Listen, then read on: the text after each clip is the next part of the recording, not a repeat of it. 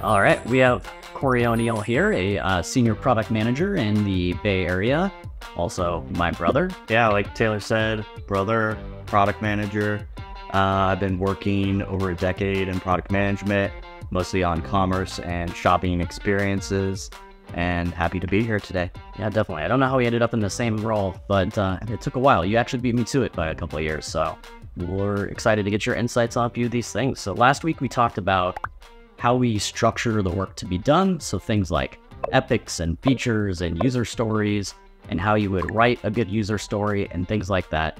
This week, we're going to talk about how we structure our teams and also the different rituals, they call them, of Agile, which is basically, if you're new to this, the meetings, but it's more to that. There's the kind of uh, tradition and encapsulation of different parts of the processes that were really crafted intentionally to help us get more work done that is valuable to the customer, to have high performing teams, and everything like that. Kind of making the transition from that to this, that work around the work to do structured in the sort of strategy to product area where you're then talking about features, epics, and user stories. That's like our list of the problems to be solved for the customer on that uh, side of a roadmap, but then it gets down to actual lists of things that we can develop that are like possible solutions to solve for that higher level of strategy. The roadmap's, you know,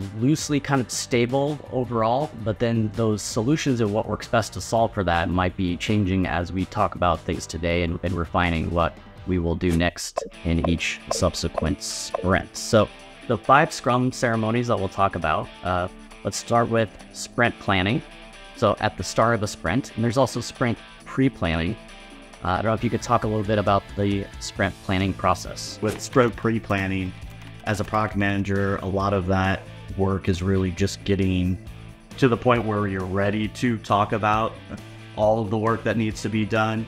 Um, as a product manager, that's a lot. Uh, that's you know a third of your job right there is preparing to actually all of the strategy, all of the roadmap planning, everything that leads up to the actual execution side of things with your designers, your engineers. Um, planning itself is a meeting where it's an opportunity for you to get together with those teammates and talk through the work that you're preparing to bring to them. And in those meetings, you're really bringing to light um, things that may be problems um, or things that you need to refine better before you bring it to them. So you may have worked through a user story, you may have some mock-ups or designs that you're working through and you want to get input in a formalized setting, maybe not just as like a one-off or a quick meeting that you're going through a drive-by. Planning is one of those opportunities to just go through those individual pieces of work and make sure that they're like to the T ready to go. And it helps start some of the estimation process when you're starting to understand how much work that you're bringing to. Um, this is probably the second or third time that you're estimating some of the work, but you're you you're slowly refining that lower and lower, and until you get a more and more accurate, hopefully accurate estimation of the work. And planning is just another step in the pro- that process how you go through the like level one, level two, and level three estimates as you get closer. I mean, level one, level two, level three sounds a lot formal than it often is in a company. Some places will have it very strict where you have to have that type of distinction of estimates. It's only very large organizations that are super strict around having that level of detail. Yeah, it, it totally depends. For a lot of places I've worked, you essentially at roadmap stage create a high level plan so that you, with high level estimations, that just are like with your engineering VPs and your engineering executives and maybe some uh, engineering leads to get like a, a, general guidance of how much a project or a theme of projects would would take. And really, it's at the estimation side where you're like getting down to individual projects and saying, is this more of a four week project or a two week project? Is this more of a 13 week project or uh, a one week project? And there are still at that point there are so many unknowns in the equation and one of the things that scrum is supposed to be doing is we all know estimations are a difficult process humans don't know everything and um, so we're trying to learn in this process of the work and what needs to be done and figuring out an estimation that of what we know at that point and what we know we don't know at that point to get an idea of what the work might be. Absolutely. Yeah, there's a lot there. I mean, estimation, like if you're in a college class that they assign the, was a Mythical Man Month book that I don't think anyone's ever read. I don't know.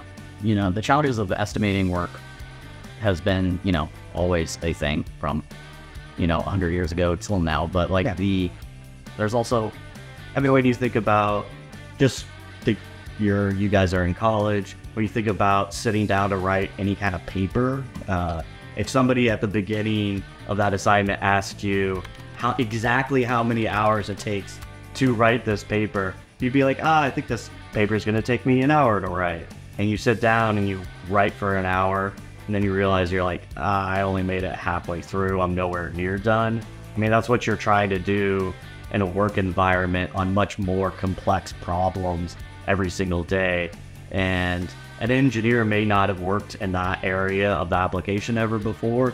And or there just may be a whole bunch of bugs that we didn't know about, or I mean, the list goes on and on. So it's a challenge every day to get to that information. Scrum and Agile are trying to provide tools in which we can both better communicate with each other um, around setting the right expectations, but also provide tools within the system itself to bring out the knowledge that we need to throughout the process to get better requirements, better estimations, get just get better as we go.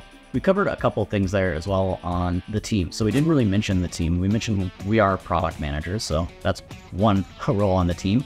Uh, you'll also hear interchangeable in some ways and not others, like the term Scrum Master. Uh, and then you also mentioned developers, of which there are a couple kinds, and then designers. So there also could be others. So what about roles on the team? What do you typically see? My teams, they they vary. Right now, I'm on quite a large team that has product managers and developers, but like I also have been on many projects where it's just me and a uh, you know senior designer and a junior designer, and we're doing mostly user experience, user interface work. Uh, so some of these processes are more truncated and a little bit more simple, and we have work that's only focused on that portion of it, where a developer at a client or something might be taking that work from us later, so it simplifies it. But for you, what have you experienced for the most part? I mean, this has for sure changed over the years of what uh, companies believe is the right ratio of product manager to engineer to designer to there's other kind of roles, whether it's um, Taylor mentioned developers, different types of developers where you're talking front end, back end, and then there's also like support, different types of support engineers. In my experience, most of the stuff I'm working on these days is consumer facing, meaning the person who's using the software is an end consumer you like um, versus like a business user who might be using the software within the company um, or likewise what that means that there's there's a lot more UI and interaction that you need to think about um, and develop as part of that. And so for that, usually we end up having per team at least half of a designer, which is just half of their time, and they could be assigned to multiple teams. Hopefully, it's it's one full designer full time on the team, and then you have at least four um, engineers, a QA engineer, hopefully full time, uh, QA is dedicated to testing the software as you're building it and making sure that you're finding all the bugs um, as you go. Depending on the company, there's other roles that are support roles as well. Um, like last company, we had an engineering manager and a part-time project manager as well. So you'll see a bunch of different variations of this depending on leadership's opinions around how teams are best and most productive. And there's what's what's good right now is that there's a lot of resources online that you can find around these kind of ratios to kind of understand why there might be one setup versus another and approximately what the ratios are. Yeah, absolutely. So, and to make it really concrete and practical, since we talk about these things all conceptually, like we're in, you know, a ticketing system like Jira is the most common for large organizations. You know, we're looking at that ticket. We talked about like having the work done ahead of time so when it gets to a developer, it is ready to work. They're not just sitting there with like a lot of questions to be asked. Like if there are questions, they might tag you in the Jira comments and like push it to maybe a different status. But there's these statuses, statusi, the ticket is Status, go through statuses. Of you go through the ticket of like uh, the backlog, like we're talking about, and then it depends on what methodology you're using. Like in a Kanban, there's like you know to do is kind of the part after backlog, and then doing, and then um, like some sort of in process, and you want to limit the things you're working on so you can have that focus and actually increase your throughput. Just like anything in life, having like 50 different, you know, books you're writing, probably not a great idea. You should probably focus on one book you're writing, and then like we mentioned, QA, so you can put it in a in review status where QA is reviewing it, uh, and they they can kick it back to development if there's you know needs to be uh, something there to get approved, and that's where last week we talked about acceptance criteria they're testing it based on acceptance criteria and some other detail on the testing side uh, to see if it actually passes uh, each of those tasks to be done. At the end of the day, we have all these processes and steps that we've created to develop this product. We're trying to develop software that is valuable for the customer and is high quality. High quality meaning it's uh, the code is up to a particular standard so that we're not just releasing something out that needs to be fixed immediately and is not valuable to the customer.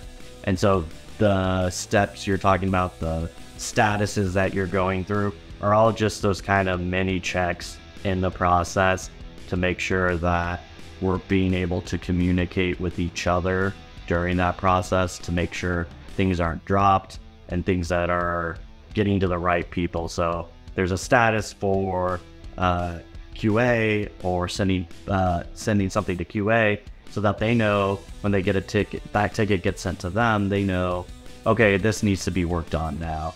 Um, and then there will be a status to send it back to the engineering team so that they can go back and rework and take a look at what they found um, in the process. So all of these things are really just ways to communicate um, during the process. Speaking of ways to communicate and having that connection to the team, your primary ritual for Agile and Scrum is the daily Scrum. So that check in usually in the morning. If you have developers, maybe it's 10 a.m. on the West Coast. Uh, but uh, that's that three questions you ask every day. Uh, you know, what did you do yesterday? Uh, what are you working on today? And then do you have any blockers? And the blockers is, you know, the big one, or, you know, do they have questions that need to be answered? Is there something else? You know, is there a license they need? Is there an API that's not working? Like, is there something else they need to bubble up uh, and escalate so they can get help to do that? Or do they need help from someone else or something like that? Um, but we can do that practically in a few ways. You could do that on a, a Zoom or whatever. Uh, you can also do it with like a Slack bot. You can set up a workflow or a Slack plugin. I like Polly. There's a few new ones coming out with some AI automated uh, connections even to Jira, which is pretty amazing. Um, but what do you do for the daily Scrum? How do you like to run it? Slackbots are fine. It really depends on the culture of the teams that you're working with. Um, you know, in remote world, like I, I felt like when we were going to the office, the Slack bots were fine because everybody was seeing each other face to face and still having good opportunities to connect. If you're fully remote and you still have those opportunities to connect with your engineers and make sure there's active communication, then great. But sometimes the Slack bots are, by the Slack bots, meaning like a Slack bot sends out a message and asks those three questions that Taylor's talking about. The engineer, individual engineer responds to them, and it just goes out to a group Slack channel, and everybody can look at it and see it um, but they kind of do it on their own time. It's asynchronous, and usually it's like, hey, have this in by 10 a.m. Um, and it's up to everybody to do that. Um, yeah, so it there's pros and cons of both, but for me, um, I've done both. Uh, it depends on which team and the culture that you have of what works better.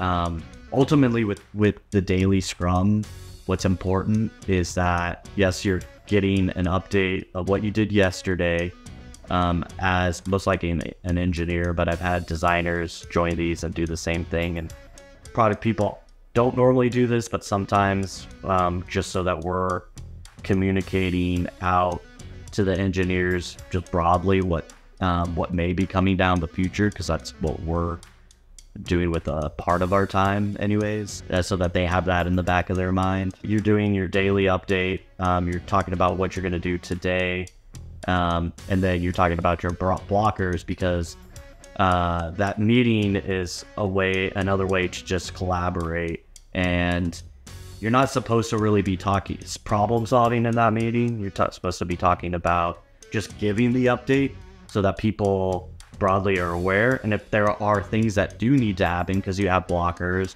or you're working on something that has dependencies with something that someone else is working on, that gives you a, a chance to say, oh, okay, uh, Taylor's working on this already that means the thing that I'm going to be working on, I need to be able to start that in a day or two because he's going to be done with that. That's just one example why the communication is important, but they're supposed to be very, very quick meetings, like between five and 15 minutes, depending on the size of your team.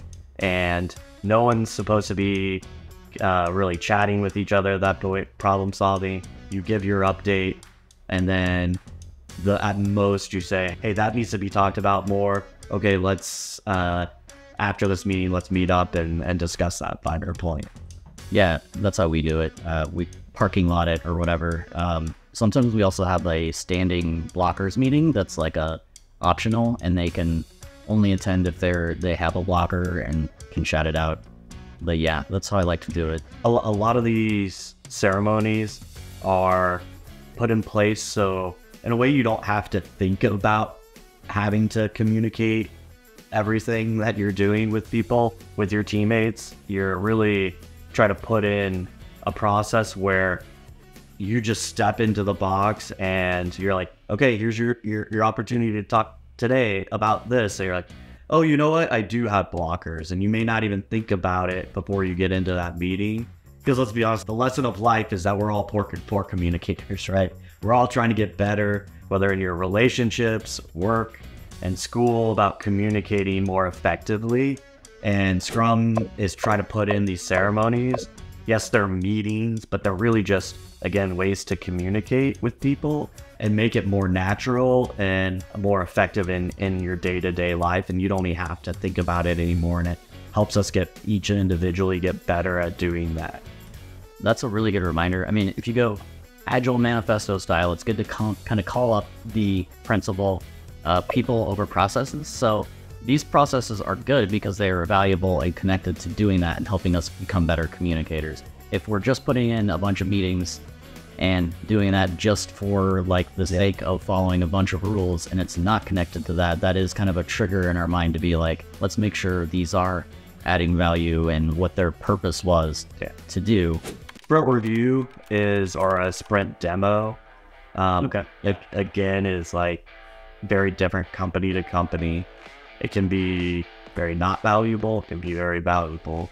Some places, a lot of places I've been have just kind of defaulted to the sprint review is an internal review where where you're showing off what you did in that sprint, what was what you were able to communicate uh, finish within that sprint, to your internal stakeholders, meaning the product manager, often the designer, um, who may not be there day to day or day to day communicating with your engineers. Hopefully, they're doing at least some.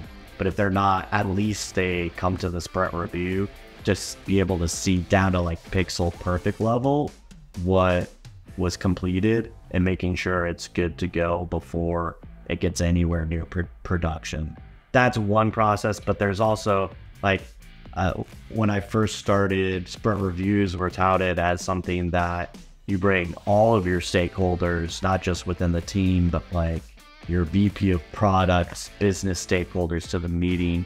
It was supposed to be half like, hey, look what we completed. Uh, we're getting ready to release it. We want to get you excited about it. Uh, we want to get our business stakeholders excited about what we're building, and that we're providing value and that we're building the right thing for the customer and the business. And everybody gets to see it at that point. The thing is, when you scale that up and you have, you know, 10 teams, 20 plus teams as a tech organization, having all those different stakeholders join and to review a product, which uh, and practicality in the sprint process, you're getting towards the end of your sprint, and there may be like final things that you're working on still.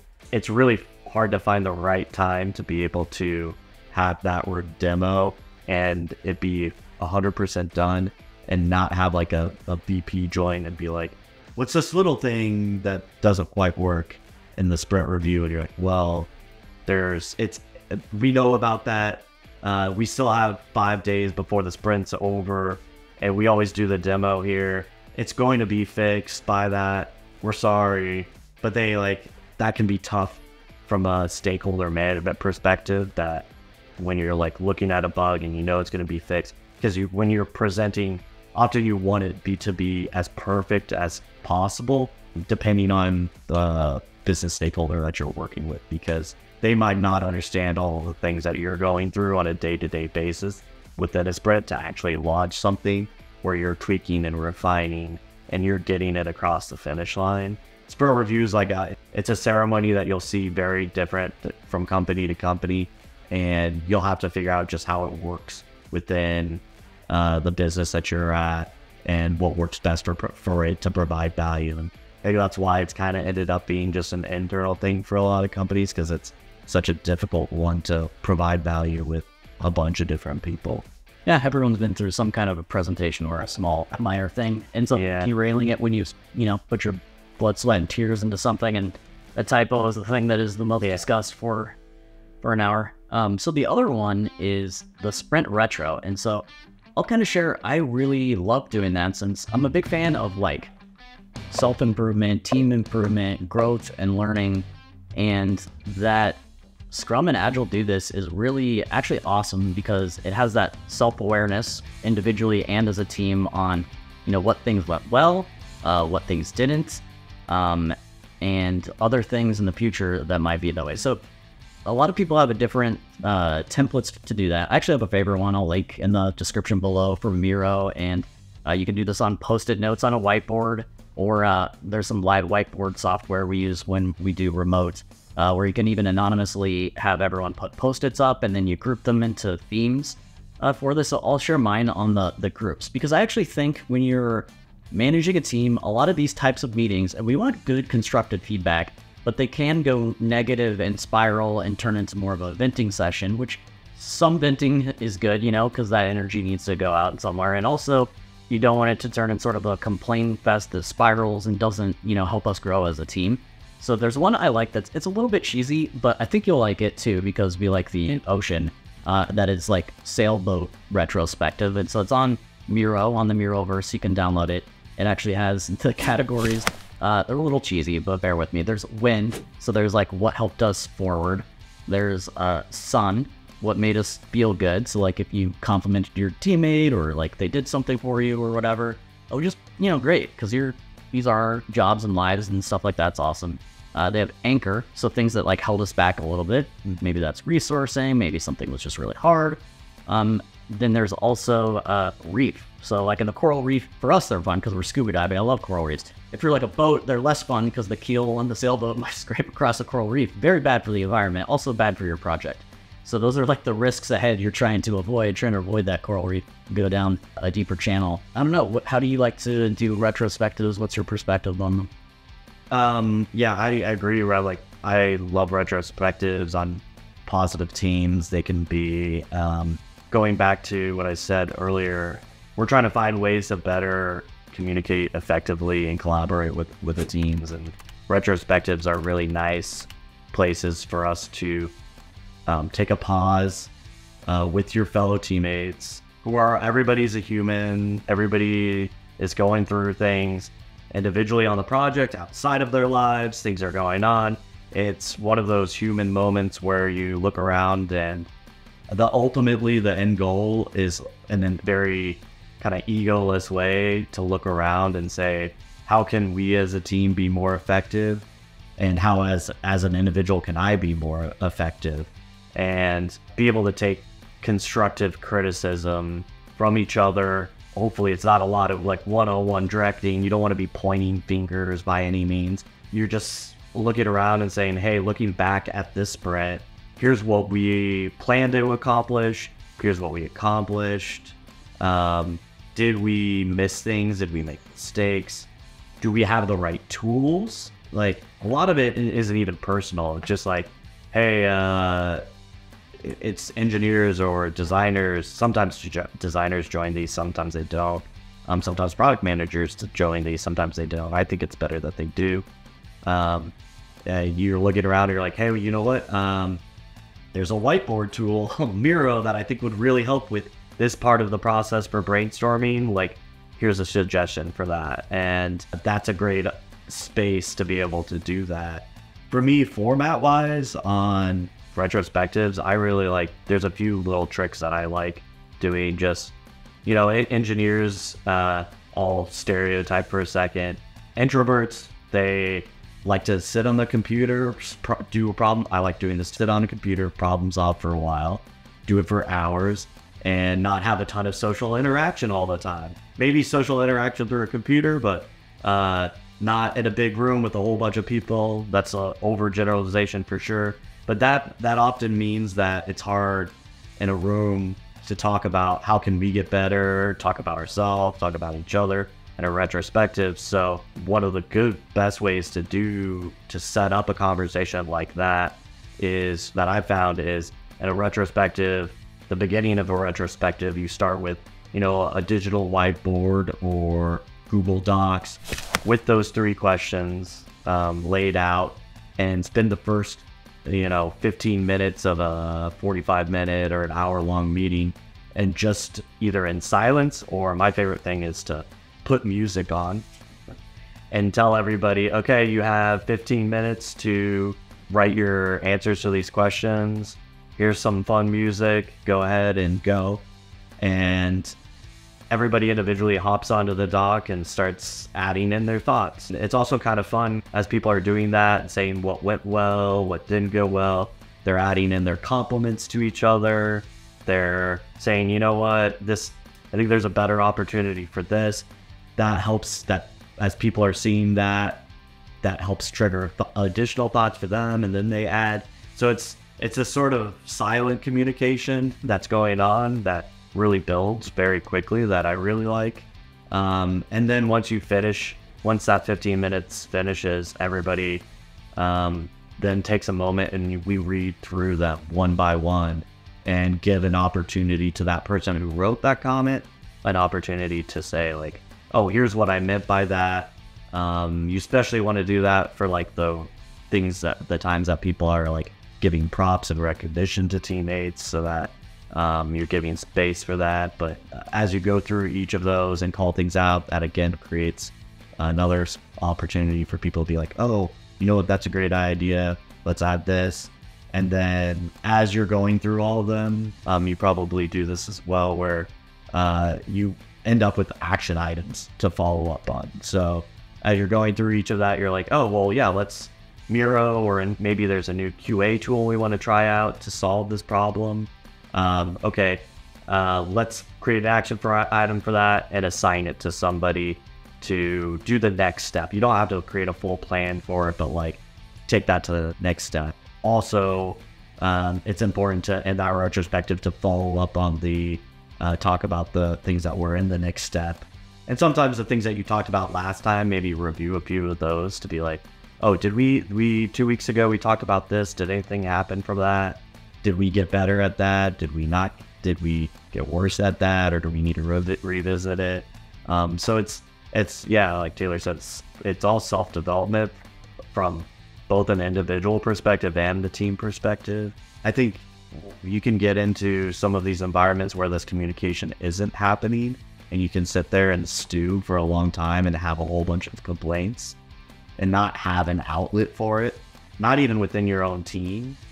And if you don't have something like a retrospective, somebody could be sitting there for months and years and be like, if only we put in this tool, or if we only did change this process, things would be a little bit better.